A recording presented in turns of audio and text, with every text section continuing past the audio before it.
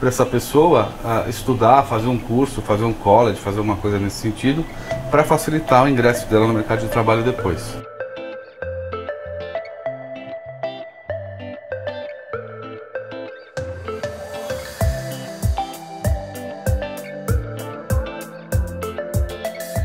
Bom dia! Bom, gente, o vídeo de hoje é um pouco diferente. Aliás, ultimamente tá cheio de vídeo diferente aqui no canal. Mas voltando ao vídeo de hoje, o vídeo de hoje é uma entrevista, mas é uma entrevista diferente da que eu fiz com o Zarilo. É uma entrevista em que eu fui procurar por respostas. Respostas a perguntas que eu recebo muito e que, infelizmente, eu não sei como responder. Eu sei que mesmo o canal sendo um canal de lifestyle, muita gente chega aqui com dúvidas sobre o Canadá, sobre como vir estudar, como vir viver em Toronto e tudo mais. infelizmente, para muitas dessas perguntas eu não estou preparada para responder. Mas é claro que a gente sempre pode pedir uma ajuda extra para resolver aqueles probleminhas que a gente gente não consegue resolver. No caso, responder as perguntas de vocês sobre estudar aqui no Canadá. E aí que entra o pessoal da Lune, uma agência de intercâmbio sediada aqui em Toronto eles cederam um pouco do tempo deles para responder algumas das perguntas que eu mais recebo aqui no canal. Então eu separei algumas perguntas que vocês me mandaram e fui lá fazer para eles. E a conversa foi super interessante porque, como eu falei, eles têm a possibilidade de responder coisas que eu não posso responder, mas que eu tenho certeza que vocês querem muito saber. E para completar a ajuda deles, eles ainda ofereceram um presente para minha audiência. Então quem estiver assistindo esse vídeo e tiver interesse em vir estudar aqui em Toronto, a Lune vai ter um presente para eles, que vai ser um mês de seguro grátis para quem fechar um pacote de pelo menos um mês de estudo de inglês aqui. Se você estiver interessado, tem um link aqui embaixo onde você pode se inscrever. No mais, eu recomendo muito assistir essa entrevista porque eu sei que vai esclarecer alguns pontos que provavelmente você tem dúvida, que eu tinha dúvida, aliás. Bom, Roberto, primeiramente eu queria muito agradecer você disponibilizar o seu tempo para responder essas perguntas para mim, porque lá no canal eu sempre tento levar o máximo de informação que eu consigo, mas eu não tenho acesso a todas as informações, então quando eu não tenho, acho que eu tenho que procurar as pessoas que sabem para ajudar não só o canal, como a minha audiência que tem muito interesse em saber essas coisas. Então eu queria muito agradecer você sentar aqui comigo hoje e poder ajudar a gente, né? É um prazer. Eu acho que a primeira pergunta que eu queria começar, assim, pra abrir sobre isso é: quando a gente vem pra cá, quando a gente começa a pesquisar, tem muita dúvida, a gente não entende os termos, a gente não entende exatamente o que procurar, o que fazer. Que que, o que, que uma agência de intercâmbio e de estudo ela, ela faz exatamente? Como ela ajuda a gente na prática? Então, acho que uma agência aqui no Canadá, ela tem uma abrangência eventualmente até um pouquinho maior do que uma agência que está no Brasil. A gente aqui na Lune, o que, que a gente faz? obviamente tem o aluno que vem estudar inglês, a gente ajuda esse cara a encontrar a melhor escola que se adeque ao perfil dele, porque aqui em Toronto existem, sei lá, umas 40 escolas, 50 escolas, né? E a escola que é bom para um não é necessariamente bom para outro. Então a gente conversa com esse aluno, a gente entende o perfil desse aluno e a gente indica algumas escolas que a gente acredita onde esse aluno vai ser feliz, que encaixe com o que ele está buscando, né? Isso no caso do inglês. Ah, no caso do college e em alguns casos de universidade, a gente começa de trás para frente. A gente explica um pouquinho a questão do mercado de trabalho aqui no Canadá, que é bem diferente do Brasil. Por exemplo, algumas profissões que no Brasil fazem sentido, são interessantes, aqui não necessariamente e vice-versa, né? E aí, a partir, obviamente, seguindo a, a linha, é, a profissão que o aluno está buscando, né? Aí, de trás para frente, a gente indica algumas opções de college e cursos onde esse cara possa, obviamente, ser bem sucedido no futuro, sempre visando o mercado de trabalho e não o curso em si. Que acho que você ajuda a não cometer o erro que eu cometi, né? De vir fazer o curso não gostar e trocar de curso no meio. Acho que teria sido mais fácil para mim, talvez, né? Talvez. Muita gente pensa em estudar no Canadá como uma forma de começar um processo de imigração. Como é que é isso? Como é que, como é, que é na prática isso? A gente, a gente aqui na Lune nós não somos uma empresa de imigração, mas a gente trabalha em parceria com algumas delas. Uh, e obviamente a gente conhece um pouquinho do assunto, porque esse é o nosso dia a dia, né? Então, existem quatro fatores que são fundamentais, que são os mais importantes na hora de montar o seu perfil, né? Que é a idade, proficiência na língua, uh, estudo que você teve no Brasil, e sua uh, experiência de trabalho aqui no Canadá. Uh, idade você não consegue mexer, você tem a idade que você tem e a cada ano você perde um pouco uh, dessa pontuação. A proficiência na língua, fundamental. Se você atinge uma, uma, nota bastante alta no IELTS ou no TOEFL, você, perdão, no CELPIP, você ganha uma pontuação extra. Então, o estudo do inglês aqui te ajuda nesse sentido. O seu estudo no Brasil é interessante também, porque se você tem, por exemplo, um mestrado ou um doutorado no Brasil, você ganha uma pontuação bastante alta dentro desse sistema.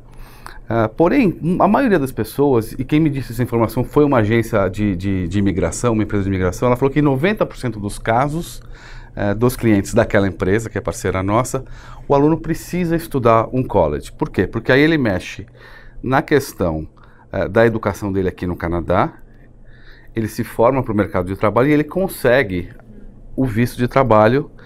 E com o visto de trabalho, obviamente, depois de um período, ele consegue a experiência canadense e a pontuação para ingressar para a pontuação extra que ele vai precisar uh, no processo de imigração dele. E para quem que esse seria o melhor caminho? O estudo é o melhor caminho para quem não tem a pontuação uh, para emigrar direto pelo sistema do Express Entry, dentro daquilo que eu falei. Então, se, o, se a pessoa já tem uma nota muito alta no IELTS, se ela tem, por exemplo, um PhD no Brasil, se ela não tem uma idade alta, uh, muito provavelmente essa pessoa já consiga uh, imigrar direto, né? Mas a gente sempre aconselha consultar um profissional de imigração para isso. Que, como, como eu falei, a gente aqui na Lune não é, não somos uma, uma agência de imigração. Para quem não é, é, o melhor caminho estudar, é quem não precisa estudar por conta de já ter a pontuação dentro do sistema, que é aquela pessoa que tem uma idade não muito avançada. Ah, nesse caso, avançado pode ser é, relativo, né? Porque a partir dos 30 anos a gente começa a perder pontos. Então, se a pessoa não tem lá, sei lá, os seus 40, 40 muitos anos, se a pessoa já tem uma, um nível de educação alto no Brasil, tipo um PhD, uma coisa assim, uh, um, um mestrado, né? E a pessoa já tem uma, um nível de proficiência de inglês alto, muito provavelmente, para efeitos de imigração, essa, precisa, essa pessoa não precise uh, estudar, uh, porque ela já consegue a pontuação. Porém, uh, nós já vimos casos de alunos chegarem aqui já com a questão da imigração resolvida, mas eles têm dificuldade de ingressar no mercado de trabalho. Então, eventualmente, até seja interessante também para essa pessoa uh, estudar, fazer um curso, fazer um college, fazer uma coisa nesse sentido, para facilitar o ingresso dela no mercado de trabalho depois. Apesar de da questão de imigração formal já ter sido resolvida. E assim, quando a gente fala de curso, a gente tem inglês, college, university. O que, que a gente tem que entender na hora de escolher esse curso, essa diferença entre eles e o que, que a gente tem que ficar atento? É, são cursos uh, bem diferentes, né? O, o estudar inglês é uma coisa, e dentro do estudo de inglês tem vários perfis de aluno. Tem um aluno que vem estudar inglês durante um mês só nas férias, vem aproveitar uma viagem de turismo e, e encaixa um estudo no meio, né? E tem aquele aluno que vem realmente tentar uh, fazer um college, uma universidade aqui. Para esse cara, obviamente, o inglês também é um pré-requisito. Então a gente tem um número muito grande de alunos que o objetivo final é um college ou uma universidade, Porém, esse aluno não está com o inglês pronto ainda. Então, esse, esse aluno precisa estudar inglês. Uh, um caminho interessante é o Pathway, né, onde ele estuda uh, já um inglês preparatório, esse inglês que vai prepará-lo para a vida acadêmica, para o college, para a universidade. Né? Ele aprende então a fazer redação, a fazer trabalho em grupo, enfim, ele, estuda esse tipo de coisa. E quando ele chegar lá na frente, num determinado nível, ele não precisa do IELTS ou do TOEFL para entrar na, na, instituição de ensino depois no college na universidade. Especificamente falando do, do curso de, de college e universidade, como eu te falei no começo, eu acho interessante começar de trás para frente. A gente explica um pouquinho a questão do mercado de trabalho aqui no Canadá. As pessoas muitas vezes já vêm prontas, já sabem o que elas querem. E às vezes o que elas querem faz sentido, mas eventualmente em alguns casos também não faz. Então a gente tenta falar, olha, isso que você está querendo aqui no Canadá é, não faz tanto sentido. Se o seu objetivo for fazer o curso e voltar para o Brasil com um currículo bacana, legal, vamos fazer isso. Agora, se o seu objetivo é fazer o curso para tentar o mercado de trabalho aqui no Canadá, tenta esse caminho ou tenta esse caminho. Então a gente tenta uh, explicar para essa pessoa como é que a coisa funciona aqui, que muitas vezes é diferente de lá. E, e a diferença entre college e university é bem confusa, né? Essa é difícil. Essa, essa muito pouca gente no Brasil sabe. Eu mesmo não eu tinha a menor sei. ideia quando eu cheguei aqui no Canadá. O sistema de ensino aqui no Canadá é diferente do do Brasil. Né? O Brasil normalmente a pessoa sai do high school ou do ensino médio e entra numa faculdade, né? Aqui ela tem duas opções, ou ela faz um college ou ela vai para uma universidade. Normalmente quem faz uma universidade aqui no Canadá uh, são do, dois tipos de pessoa. Primeiro quem quer seguir uma carreira acadêmica, né? Então esse cara vai fazer um, um, um bachelor degree, depois ele vai fazer um, um mestrado, depois ele vai fazer um doutorado, é a pessoa que quer seguir uma carreira acadêmica. Ou, obviamente, quem precisa de uma profissão acreditada, né? um médico, um advogado, um engenheiro, esse tipo de pessoa precisa de uma universidade. Ah, para os demais profissionais, eventualmente uma universidade seja muita coisa, ela não precisa disso para o mercado de trabalho. O mercado de trabalho não exige isso é, desse profissional. Essa pessoa vai fazer um college, que é um curso técnico, mas é diferente do que nós temos no Brasil. Então essa comparação de curso técnico que nós temos no Brasil é um pouco perigosa. Né? Aqui é uma coisa um, um, pouco a mais e o mercado absorve isso. Então ela vai fazer esse curso de dois ou três anos, normalmente de dois anos, em dois anos ela já entra no mercado de trabalho, né? Seja um canadense ou seja um estudante internacional, a, a mesma coisa. E existem áreas assim que são melhores para estudar, digamos que é mais fácil depois talvez você conseguir um emprego, fazer uma carreira no Canadá, que são melhores que outras ou no geral? Ah, existem os trends, né? Então, por exemplo, a área de TI, obviamente todo mundo sabe, é uma área que está em franca em franco crescimento no mundo. Né? Aqui no Canadá não é diferente. Então, a gente tem muitos alunos que buscam a área de TI. A área de engenharia também aqui no Canadá também é uma coisa que está com o mercado bastante em alta.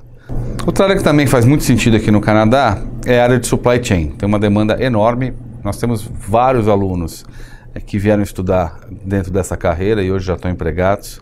Existe uma região aqui do lado de Toronto, especificamente chamada Mississauga, que é onde fica o aeroporto ela é uma região basicamente de supply chain, né? uma região cheia de é, galpões e as empresas estão todas lá, as empresas desse mercado. E agora eu vou te fazer uma pergunta que eu recebo muito, talvez a campeã assim lá do canal. Afinal, Afinal. dá para vir para o Canadá estudar sem saber inglês, nada de inglês? Dá, dá sim. Nós tivemos já alguns alunos que, que vieram nessa situação. A maioria, quando vem, ela já tem uma base. O brasileiro, ele, quando ele vem estudar inglês, por ele ter estudado inglês na escola, apesar desse inglês da escola eu achar que ele não resolve muito a vida, mas ele te dá o básico, né? Uh, mas nós já tivemos alguns alunos que começaram do nível 1, que é zero absoluto. É raro, mas acontece.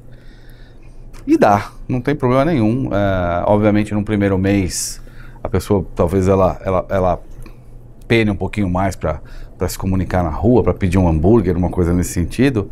Mas isso é rápido. Essa curva de aprendizado de quem está no nível zero até o nível de conseguir se comunicar minimamente, ela é rápida. Então dá perfeitamente. Então, Roberto, mais uma vez queria agradecer você pelo seu tempo e sentar aqui e responder essas perguntas. Eu tenho, eu tenho tentado trazer mais informação para o canal justamente por causa disso. Apesar de ser um canal de lifestyle e tal, eu noto que às vezes coisas que a gente acha no dia a dia, que são, que a gente acha informações mínimas, eu tenho notado que para muitas pessoas isso é informação que muda a vida. Então, assim, poder ter a ajuda da aluna aqui no canal para responder essas, essas perguntas, eu sei que é muito importante para muita gente. Eu queria agradecer a você por ter nos ajudado hoje. Eu quero te agradecer por ter vindo aqui. É um prazer enorme. Até queria te fazer um convite. Vamos combinar na semana que vem. Eu quero te levar numa escola de inglês, que acho que tem muita Ótimo. gente no Brasil que tem a curiosidade de saber ah, como é que vou estudar inglês, como é que é a escola de inglês lá no Canadá. Então, queria te convidar para a semana que vem a gente dar um pulo numa escola de inglês bacana que tem aqui perto e para mostrar para o seu pessoal. Convite aceito. Muito obrigada. Espero que você tenha gostado desse vídeo. Se você gostou, não esquece de dar o like aqui embaixo para que mais pessoas possam descobri-lo. E se é a sua primeira vez aqui no canal, não deixa de se inscrever, porque eu posto vários vídeos sobre Toronto, sobre como é a vida em Toronto, como é a vida no Canadá. E como vocês viram aí, eles também acabaram de me convidar para visitar uma escola de inglês. Então nos próximos dias eu devo mostrar isso para vocês aqui no canal.